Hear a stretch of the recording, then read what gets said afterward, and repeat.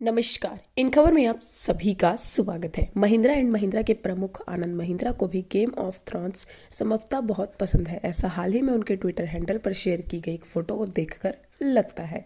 आनंद महिंद्रा ने ट्विटर पर मीरा थांग ग्लेशियर की एक फ़ोटो शेयर की है। इसके साथ लिखा है गेम ऑफ़ थ्रॉन्स की दीवार हकीकत में मौजूद गेम ऑफ़ थ्रॉन्स सीरीज़ में द वॉल एक कैरेक्टर की तरह रिफ्लेक्ट होती है। बर्फ़ की है दीवार 555 किलोमीटर की लंबाई में फैली हुई है और इसकी ऊंचाई 700 फुट है। इस दीवार को व्हाइट फॉर्क से बचाने के लिए बनाया गया है।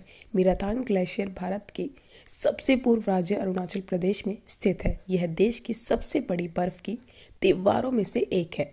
सर्दियों के सीज़न में एडवेंचर पसंद करने वाले लोग इस दीवार पर ट्रैकिंग करने आते हैं। आनंद महिंद्रा ने ग्लेशियर की जो तस्वीर शेयर की है, उसे सत्यम साबू ने क्लिक किया है। उनके फेसबुक प्रोफ़ाइल से पता चलता है कि वो गुवाहाटी के रहने वाले हैं और अभी मुंबई में रहते हैं।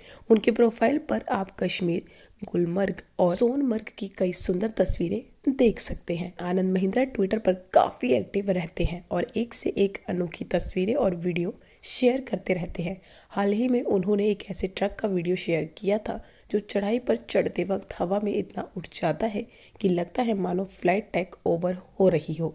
तो वैसे ही खबरों पर रहेगी हमारी नज़र। आप देखते रहिए इन खबर। इन खबर चैनल को सब्सक्राइब करें